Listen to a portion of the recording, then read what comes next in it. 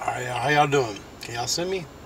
Alright, it's late night at the gym. We got back, so we're gonna rock out real quick. Remember, Hulk loves very much and you still in between push-ups.